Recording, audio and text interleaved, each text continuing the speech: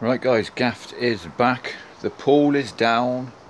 There's no dogs in sight. That can only mean one thing. Gaffer's on holiday. Gaffer's away for a week in sunny New um, Torquay in the UK. No abroad Spain holiday this year guys because of COVID. But the Gaffer family are off for a week's holiday in the UK and look at the weather. Mm. We will see so uh, there won't be any magic uploads this week guys. Although I might see if I can find some off my memory stick for you. But I'm gonna have a nice relaxing week. So we'll see you when we get back. Cheers